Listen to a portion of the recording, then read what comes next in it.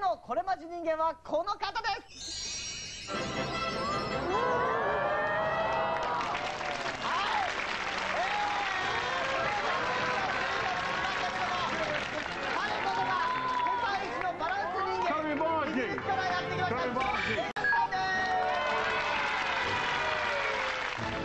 世界一のバランス男ジョン・エヴァンスさんは18歳の頃から工事現場で働き始め頭に重いレンガを乗せ運ぶのが得意でした。1992年テレビでレンガを乗せバランスを取るパフォーマンスを見て彼はこの道のプロになることを決めたんだそうです。そんな彼もまたギネスホルダーなのです。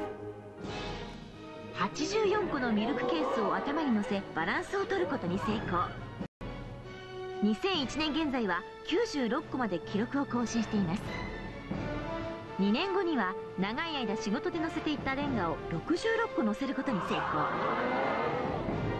そして1999年彼はなんと車を乗せてしまったのです。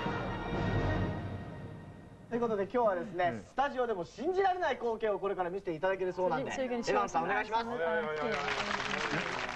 ここまではご覧のスポンサーの提供でお送りしましたお願いします。さあ何をやっていただけるでしょうかね。今これまじガールの2人がですね、えー、椅子に座るのそこに。座ろうとはい座るんでしょ？うん。ね。はい座りました。それで？これでもこれまじガールもちょっと怖いね。怖い。さあこれを頭で。いっ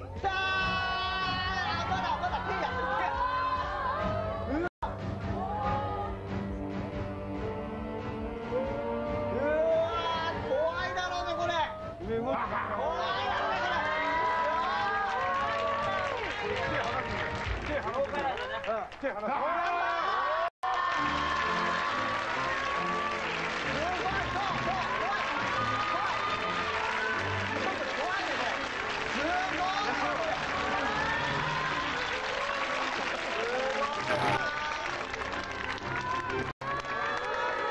続いてやっていただくのはこちらでございます。どうぞ。